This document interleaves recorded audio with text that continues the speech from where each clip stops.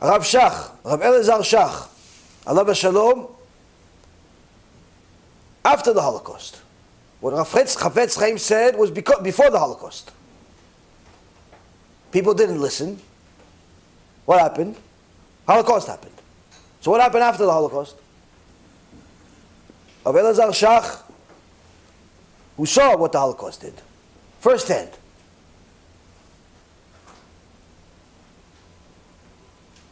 says, Anytime I see buses that take the Jewish children to secular schools, I know it's exactly like the trains that took the children of Am Yisrael to Auschwitz and thereby to the gas chambers to kill them.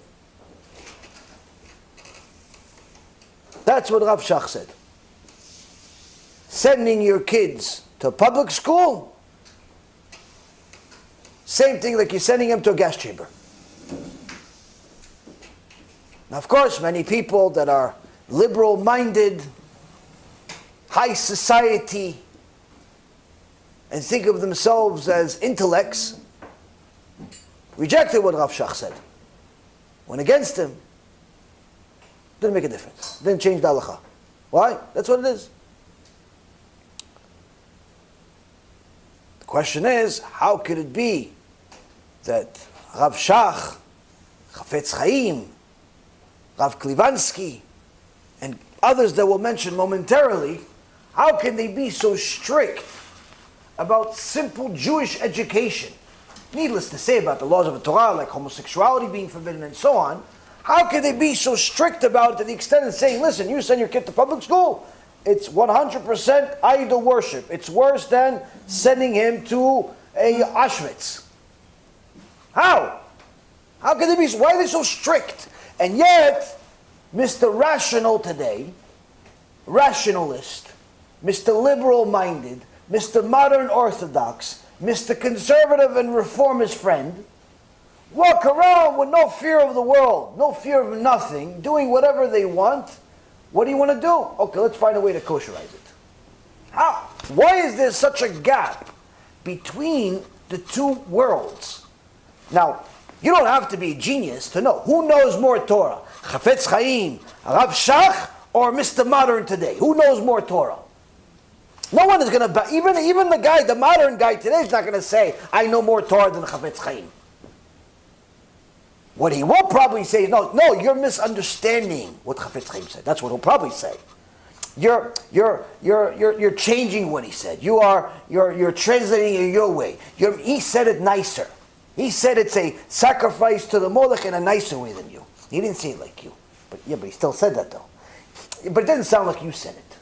You're making it sound scary. Well, I don't know, you're sacrificing a kid. Okay, you want to say it like a, a nice tune, like a child, child song? You're sacrificing him to Molech and he's gonna die. Woo! Like, what, what do you want me It's the same thing.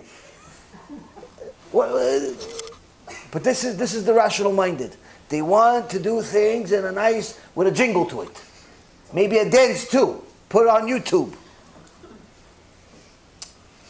With that being said, and as funny as it is, this is the truth. This is what's happening in the world today.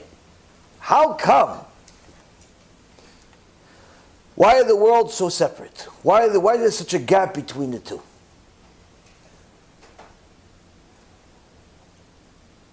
Rav Allah Shalom. Today's Zilula when he found out that the head of the educational department in the Israeli government, Yossi Sarid, was getting in the way of how the Jewish children were going to learn Torah. It was at the time of Purim. Rav Ovadia said to the public, when you say Aru Aman, that Aman is cursed, it's also Arur Yossi Sarid says, Aru Haman and Aru Yossi Sarid. Cursed is Haman and cursed is Yossi Sarid. You said, oh, Rav Ovadia, Rav Ovadia, Rav Ovadia's Gdol what are you doing? How can you talk like that? It's another Jew. He's getting in the way of Jewish education. He's cursed from Shamayim. Yeah, but he's already cursed by the Torah. Yeah, but I need to curse him also. It's a mitzvah. Why? You're getting in the way of Jewish education. We're scared of what's going to happen as a result. People today walk around with no care in the world. They make sins, they find a way to make it kosher in their own eyes, in their own perspective. Yet, our biggest sages that we've ever had, even in recent memory, for something as we can say minor, as education, they make a big stink out of it. Curse all the curses of the Torah. Say it's the equivalent of the Holocaust. Say it's the equivalent of idolatry. Say it's a person is cursed forever. Worst curse in the Torah is Ahu. How could it be?